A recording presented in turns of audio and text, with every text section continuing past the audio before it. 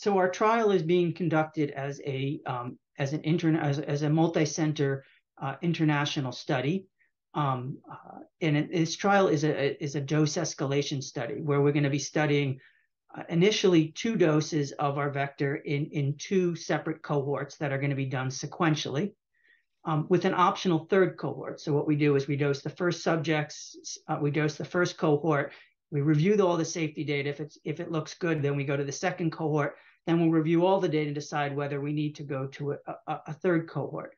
So the patients have to have symptoms of disease that we're not treating at this stage um, pre-symptomatic patients. So they have to have symptoms of disease and be aged 35 to 75 years of age, and they have to be able to live independently. Um, um, sorry, let me restate that. They have to be able they, they can't be institutionalized so that they're not if they're they can't be in a nursing home setting. They have to be able to live in the community in order to be eligible for the trial. Um, so the, the trial is being done again sequentially. Where initially we're going to dose the three subjects in the first cohort. Um, uh, and those subjects again there's a 60 day period between dosing of each subject. So it'll take um, you know six to nine months to dose the first cohort and then we will go on to the second cohort, which again will take about the same amount of time. Um, the follow up for each subject is two years, um, with an ex- and then with long term safety follow up for five for up for five years total.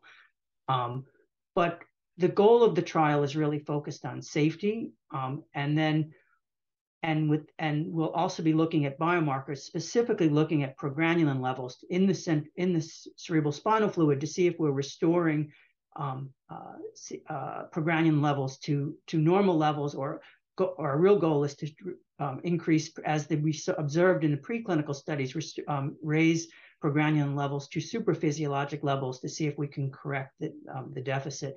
And then this will allow us to pick doses based on safety and biomarker data for a, a second study where we actually test efficacy in the you know over uh, in a in a larger cohort of subjects.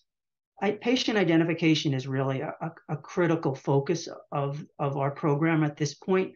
Um, historically, genetic testing in frontal frontotemporal dementia has not been uh, has not been done very, very um, well. Genetic testing has not been uh, um, uh, done at a very high rate. So we have an extensive effort to enhance our recruitment through a sponsored genetic testing program and outreach to healthcare providers to um, educate them on um, the benefits of genetic testing and the oppor- and, and the potential for therapeutics, not just ours, but other companies as well, if if if a specific genetic um, uh, uh, change is identified in a given in a given individual, whether it's granulin gene mutations or other mutation, other gene genetic findings associated with frontotemporal dementia. So, so we have a big effort that is ongoing, an outreach effort to really educate the community with the patient advocacy groups about the benefits of genetic testing. And I think this will help not just Passage, but all, all companies that are looking to uh, um, run clinical trials in frontal frontotemporal dementia.